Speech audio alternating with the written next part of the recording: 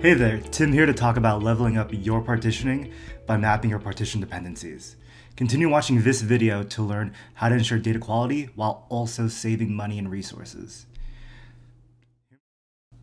You sign into your work laptop on a Monday morning, and the first thing you see is an email from a high level director that says, Hey, my weekly report doesn't look right.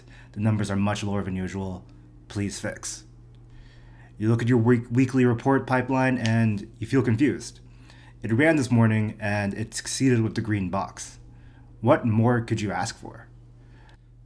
After a stressful morning, you find out the error was that the weekly report only had six days of data. During one of the daily updates last week, your process ran out of memory because of a massive spike in usage.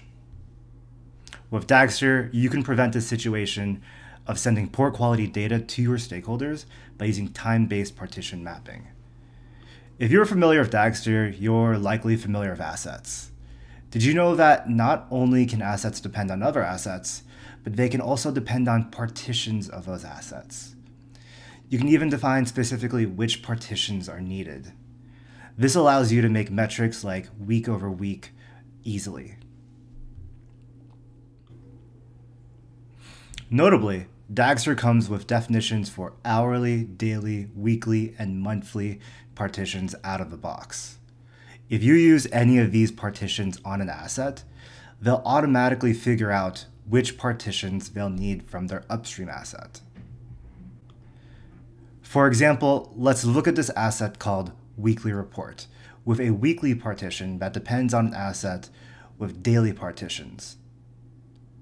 This will wait until the seven days of that week's data are materialized before trying to materialize the weekly report itself. If you try materializing the weekly report on an incomplete week, you'll get a warning that says that the week's daily partitions are not complete yet. Here's the Dagster code that defines these assets. As promised, there's no fancy extra work involved here. It's just that the weekly report is partitioned weekly and the daily report is partitioned daily. As mentioned, you can also define your own partition mappings in any way you like, such as country data requiring its region's data to be complete. However, these time-based rollups are common enough that they're supported without any additional lift from you. Looking into the data, what happens is that your daily report argument will now provide a dictionary of seven partitions worth of data instead of just being one data frame for that partition. You can then safely aggregate these, knowing that you have a full seven days of data.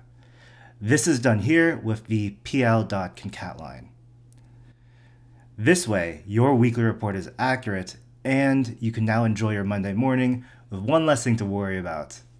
You'll no longer have to think about the cold sweats felt by having someone high up email you directly telling you that your work was wrong.